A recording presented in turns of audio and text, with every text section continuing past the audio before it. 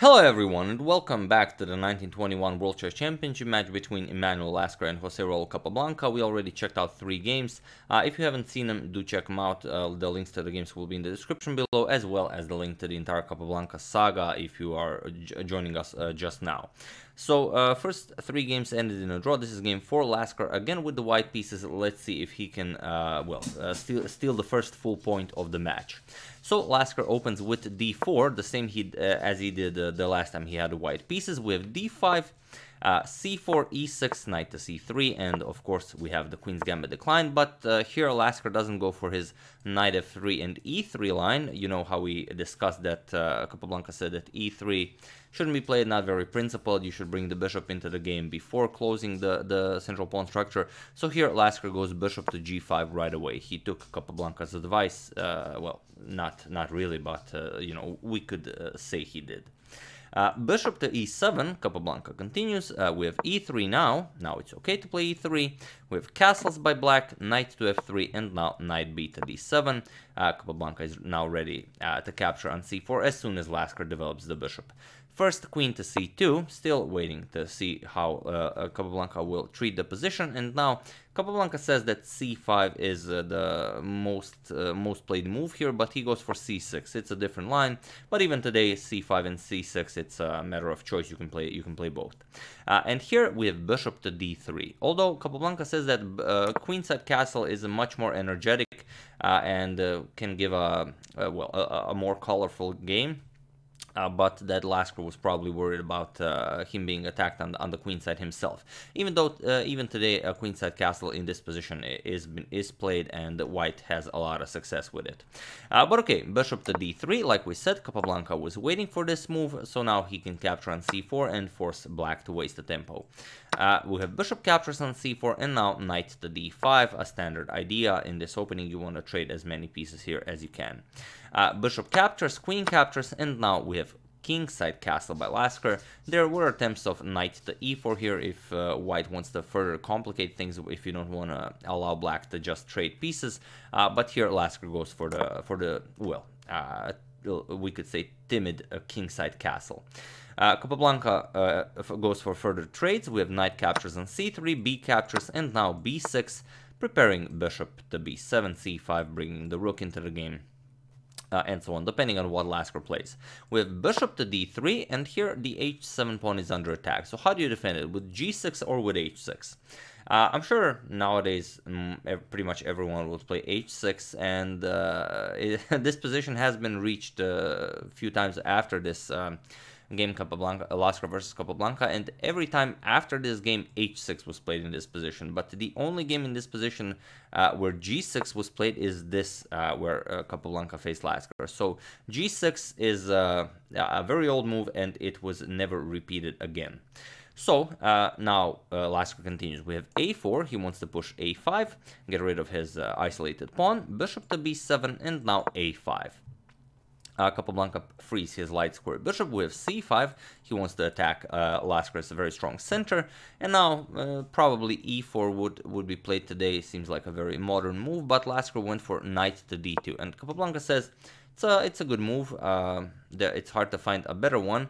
Uh, and now he, he still waits to see what uh, Capablanca will do. Of course, Lasker is not interested in messing up his very strong uh, center here, uh, but uh, Capablanca has to attack it once again. Here he plays e5. Uh, he wants either Lasker to decide what he's going to do with the center, or uh, he will start capturing in the center. But here, uh, there was also a very interesting line b5, just try and trick Lasker into capturing the pawn. Now, if you capture, then you just get c captures on d4, and now it doesn't really matter what you capture it with. Then queen g5, and now black wins as the g2 pawn is under attack. Uh, there's the threat of checkmate, but also you can't defend the both checkmate and the bishop on b5 here. But okay, after b5 you don't really have to capture it, uh, you can just ignore it, you can play e4 and then the game just continues. c4 doesn't do anything for Capablanca, if c4 then white just keeps his very strong center, moves the bishop, he's going to transfer it to f3 and there's no problem here. Uh, so after knight to d2 we have e5, Capablanca continues attacking the center, uh, we have bishop to e4, bishop captures on e4, queen captures on e4, and now rook 8 to e8. uh, just developing this rook very nicely. Uh, and now comes a captures on b6. A captures on b6, and now rook to a7. Here, Lasker's position seems to be improving, uh, and he's gaining much more from the position. He's preparing queen to b7, uh, well, maybe even queen to c6 to, to try and, uh, you know, uh, create some havoc in in in black's queen side. Uh, but Capablanca decides, no, you are not uh, playing that. We will now trade queens. He plays e captures on d4, and now he was probably expecting captures, captures, and then some trades in the center, captures, captures. Let's say e captures here, and then maybe rook e2 going after after the knight here. Uh, but uh, Lasker decides I will not just yet capture here. First, queen to c6. He doesn't just want to trade down into a drawish endgame and waste his white pieces. So queen to c6, now threatening to win material here.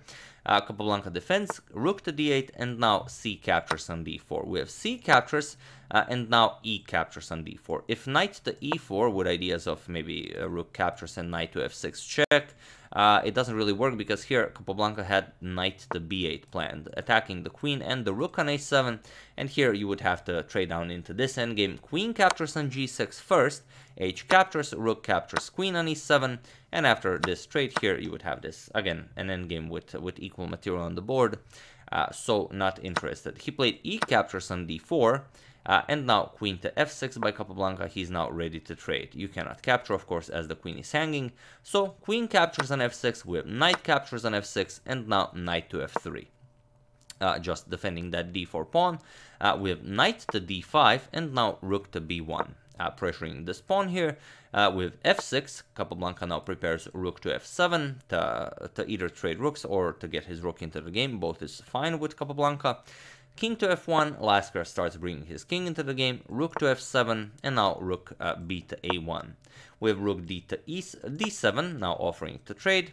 Uh, Lasker trades here, and here uh, uh, Lasker played g3, and it was in this position the players agreed to a draw, as there is nothing more to do here. It's uh, pretty much, uh, well, well, it is a drawn endgame.